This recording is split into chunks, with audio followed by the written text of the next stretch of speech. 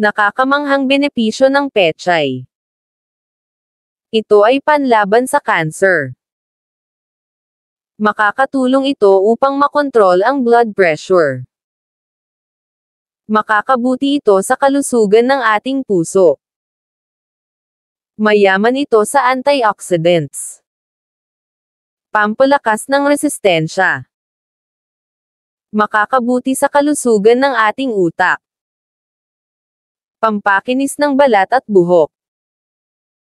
Pampatibay ng buto at ngipin.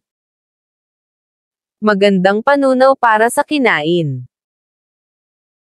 Makakaiwas laban sa panganib ng anemia. Nakakatulong pagalingin ang sugat. Kung nagustuhan mo ang videong ito, pa-like and share naman. Maraming salamat.